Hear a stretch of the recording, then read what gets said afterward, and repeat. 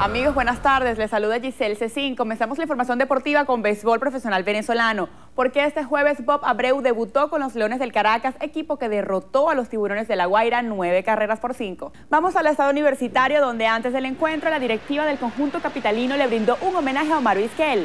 Abreu debutó en el primer inning y recibió boleto. Los melenudos se fueron arriba dos carreras por una con el elevado de sacrificio de Jesús Guzmán. Luego Franklin Gutiérrez ligó hit al centro para remolcar a Abreu con su primera rayita de la temporada y a Carlos Rivero. Al final los melenudos se llevaron la victoria e igualaron el primer lugar de la tabla. Navegantes del Magallanes comparte la punta con los melenudos, luego de caer ante las Águilas del Zulia ocho carreras por tres en Maracaibo. Los rapaces se llevaron la victoria gracias en parte a cuadrangulares consecutivos de Ernesto Mejía y Evan Gatis. Y este viernes sigue la acción. Zulia visita a Margarita en Por la Mar y Anzuategui a La Guaira en Caracas. Por su parte, Aragua recibe a Caracas y Lara se enfrentará a Magallanes. Y ya para finalizar, les cuento que el venezolano Juan Arango ha comenzado a ser más que un jugador para los fanáticos del Glashback, quien desde el pasado 9 de diciembre abrieron una página en la red social Facebook, donde han proclamado al maracayero como el nuevo dios del fútbol. Oliver Rodríguez nos cuenta más.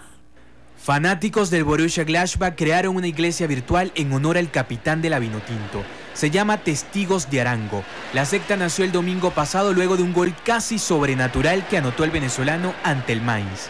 Los alemanes lo llaman el Sagrado Don Juan de la zurda bendita. La iglesia que hasta el momento posee más de 9.500 me gusta en Facebook ha convocado la próxima misa para adorar a su dios del fútbol. La ceremonia se llevará a cabo este viernes en Múnich, en el estadio Allianz Arena. Todos los fanáticos y seguidores del fútbol de Alemania corean el nombre del maracayero recurrentemente durante partidos europeos o de la Bundesliga están enloquecidos con los goles recientes del capitán venezolano y hasta proponen la instalación de un monumento junto a los históricos del club. En los deportes, Oliver Rodríguez, Noticiero Venevisión.